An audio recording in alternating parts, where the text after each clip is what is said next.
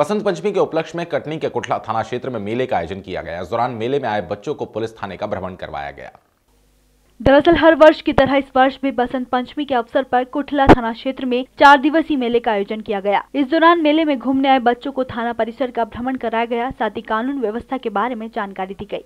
आ, ये क्या बोलते हैं बसंत पंचमी के उत्सव के कार्यक्रम के परिप्रेक्ष्य में यहाँ कुटला थाना के सामने मेला लगा हुआ है जिसमें बच्चे छोटे बड़े बच्चे सभी मेला भ्रमण करने आए थे जिन्हें थाना भ्रमण कराया गया और थाने की गतिविधियाँ बताई गई जो बच्चों ने जानकारी प्राप्त की थाने में और उनको बाकी सुरक्षा कानून के विषय में जानकारी दी गई है।